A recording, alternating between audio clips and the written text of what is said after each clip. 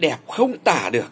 Đến học sinh sinh viên công nhân viên chức công sở gì đeo được.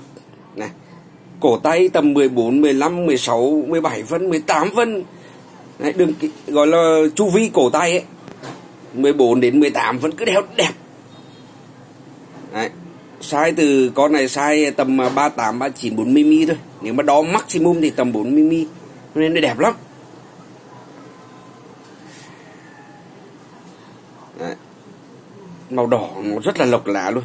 Đẹp. Phải nói là đẹp. Orient. Chính hãng chuẩn chỉ luôn. Đẹp thật.